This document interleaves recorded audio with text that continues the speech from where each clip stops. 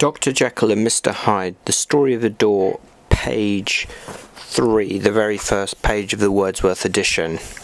Um, right, I want to look at this particular co- quote from chapter 1 of Dr. Jekyll and Mr. Hyde. Um, it, Robert Louis Stevenson describes Mr. Utterson. He said, he says of him, um, the bottom part of um, the first paragraph. In this character, it was frequently his fortune to be the last reputable acquaintance and last good influence in the lives of down-going men. And to such as these, so as long as they came about his chambers, he never marked a shade of change in his demeanour. Um, Mr. Utterson is a very important character in the novel. He plays the role not only of a friend to Dr. Jekyll, um, but also a detective. He finds things out, and crucially, he's introduced here as really being unshockable. So he never marked a shade of change in his demeanour. Um, it's, it's quite interesting so when um, Utterson is shocked, it's all the more surprising in this novel. So he sets him up, uh, Utterson up as a lawyer who is very. Um, he's used to scandals, used to dealing with difficult situations.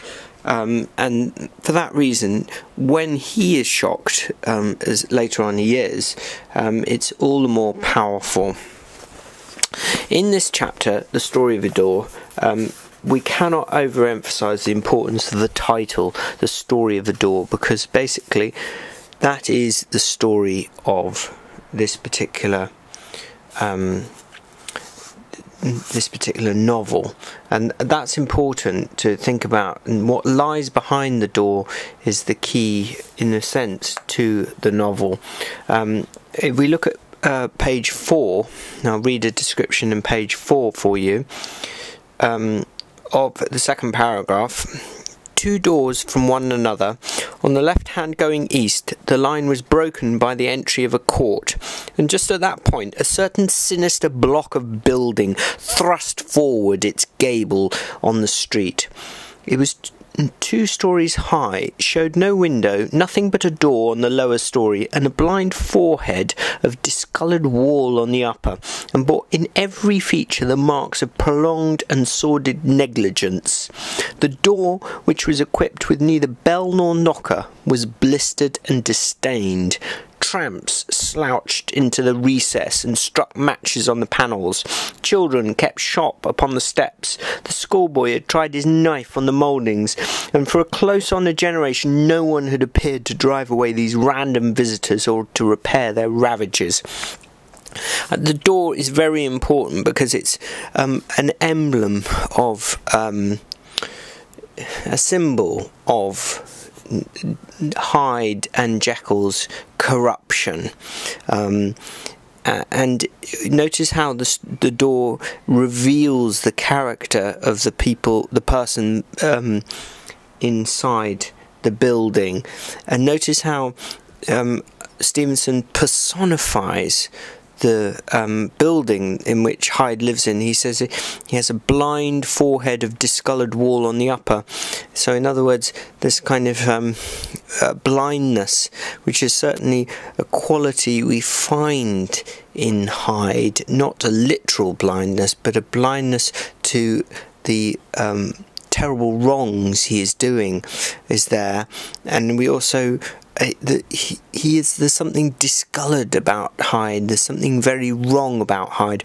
And this is revealed in the description of um, the building.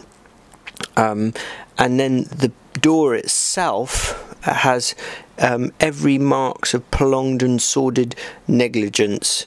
Um, and it's blistered and disdained. Um, blistered is an interesting word, isn't it?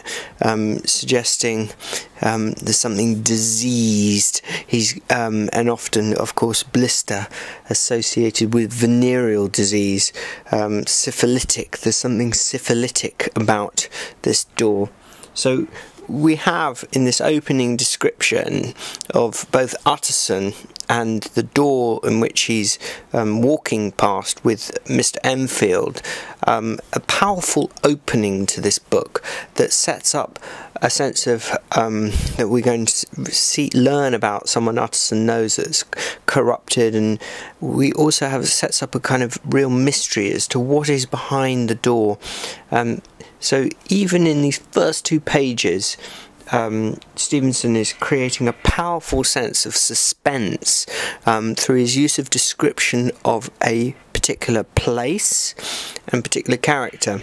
So, what I want you to do now is make some notes on the opening of the um, novel and think about how does he build up suspense through his use of description, and think about how he does does that in his characterization of Utterson. Remember, he characterized Utterson as someone who's unshockable.